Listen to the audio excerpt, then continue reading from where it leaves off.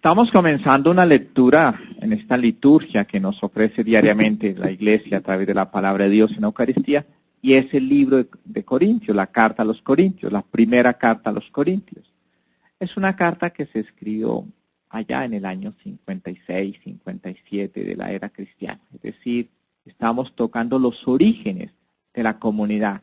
No solamente la comunidad se quedó en el proyecto que Jesús estableció de 12 discípulos, sino la, la comunidad se fue extendiendo y se fue eh, dando en calidad, en apertura, en extensión, y fue llegando a territorios impensados. Para un judío, para esos discípulos que vivieron con Jesús, que todos eran del sector, ninguno de esos discípulos había salido de Jerusalén, de Israel, de Galilea, que eran como su patria chica, nunca se iban a imaginar que la palabra de Dios les iba a dar tanto poder y que la palabra de Dios iba a transformar el corazón de tanta gente que iban a cruzar las fronteras. Y esa predicación pues atrajo a un hombre como Pablo, y hoy Pablo está en una de las ciudades más emblemáticas de la cultura del siglo I, en Grecia y en Corinto. Corinto es la segunda ciudad de Grecia, después de Atenas, la capital, y llega Pablo hasta allá. Corinto es la ciudad del desorden. Corintio es la ciudad donde hay dinero, pero no hay moral. Y creo que pudiéramos decir, Colombia está llena de muchos corintos, o el mundo entero está lleno de muchos corintos, donde hay bastante prosperidad, la gente tiene un modo de vida agradable, tiene un bienestar económico, social, pero no tiene valores, le falta la moralidad, le falta la espiritualidad. Y digamos, en términos de Jesús, es como un árbol seco, es como una persona que no da frutos. Hasta allá llegó Pablo. Nosotros debemos ser creyentes de retos. Nosotros no podemos quedarnos conformes en vivir solamente en, el confort de nuestras creencias y en nuestros lugares. Tenemos que tener la audacia de Pablo. Y llega a ese lugar tan difícil y les anuncia tres palabras que siempre serán vigentes, que se convierten en un proyecto de vida. Primera palabra, gratitud. Siempre tenemos que darle gracias a Dios. Y Pablo dice, siempre que hago oración, de, que doy mi acción de gracias, me acuerdo de usted. Mira qué bonito. A veces nosotros le damos gracias a Dios por la naturaleza, por el clima, por el sol, por la lluvia, por el atardecer, por el amanecer. ¿Y las personas dónde quedan? ¿Dónde quedan las personas? Mi razón de ser es la comunidad. La creación es el regalo de Dios y el Papa Francisco lo llama la casa común pero la creación es en favor de la comunidad, es con el rostro del hombre. Entonces Pablo le dice, siempre en mi acción de gracias me acuerdo de ti, de ustedes, esta comunidad. Segunda palabra, el compromiso. No basta dar gracias, no basta ser unos contemplativos de la vida, si no tenemos compromiso. Entonces el servicio es esa manera de hacer parte de la responsabilidad de tener una, una palabra, un acento, un alzar la mano y decir aquí estoy yo, cuenten conmigo. No podemos seguir, la cultura nos está enseñando a hacer de brazos eh, cruzados, a dejar que otros se comprometan y después ir a levantar el dedo y señalar el error. No, levanta la mano y di aquí estoy yo. Yo también quiero colaborar. No lo sé hacer, me falta experiencia, tal vez me falta mayor conocimiento, pero cuenta con mi disponibilidad. Ese es el proyecto que Pablo está haciendo en Corinto. Y tercero, fidelidad. La fidelidad viene de Dios.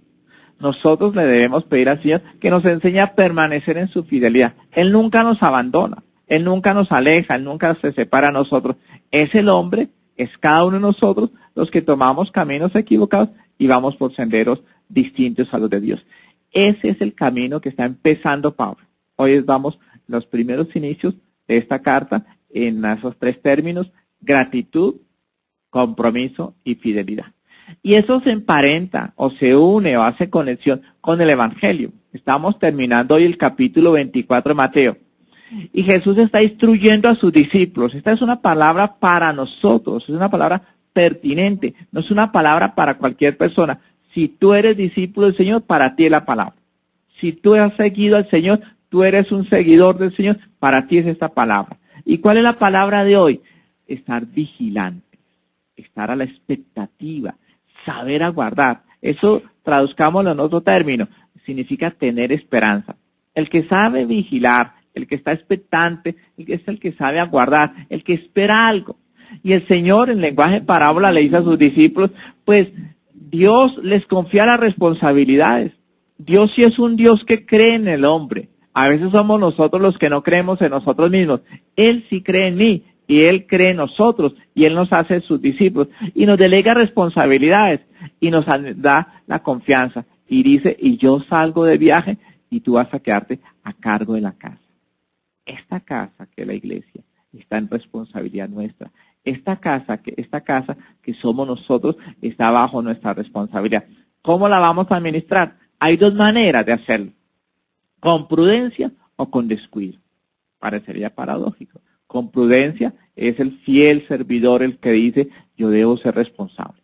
Dios se va y él va, va a regresar. No sé cuándo regresa, pero no estoy pensando en cuándo regresa, sino estoy pensando en qué debo hacer.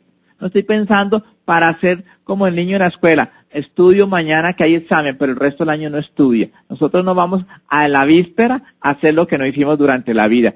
Todos los días vamos a hacer lo que el Señor nos pide, porque toda la vida nos confió la responsabilidad. Entonces, ese servidor fiel y prudente que atiende las responsabilidades, que cuida a las personas que le delegan, que sabe administrar la casa, pues ese fiel servidor, cuando llegue su Señor, pues lo va a le va a dar la mayor responsabilidad, le va a dar el mayor encargo, le va a dar todo el poder que tiene a través de la eficacia que muestra el hombre. Pero está la otra manera de obrar y es el dejar que las cosas pasen. El dejar que hoy es muy temprano, el decir que todavía falta tiempo, el decir que es que para qué trabajar si ya el año se va a acabar y empezar a sacar todas estas disculpas que no nos hacen crecer. Esa es la persona negligente, la persona sin criterio, la persona que hace morir a la comunidad. Es la persona que le entregan una comunidad viva y entrega una comunidad de huesos secos. Ese no es el servidor que el Señor quiere. El Señor quiere de nosotros el talento porque delega su confianza a nosotros. Entonces, ¿cuál es la actitud? En este jueves, en todas estas luces y estas campanas que se están escuchando de advertencia frente a, al porvenir, ¿cuál va a ser mi respuesta? negligente, descuido y tomo eh, al último momento el camino o de responsabilidad y criterio y voy andando por la senda del Señor. Que su palabra nos oriente, que la vida sea el criterio que eh, encamina nuestra existencia y que las acciones que hagamos, como Pablo nos dice, sean en fidelidad, que seamos fieles al proyecto que Dios nos ha encomendado, a la responsabilidad que nos ha delegado. Que así sea.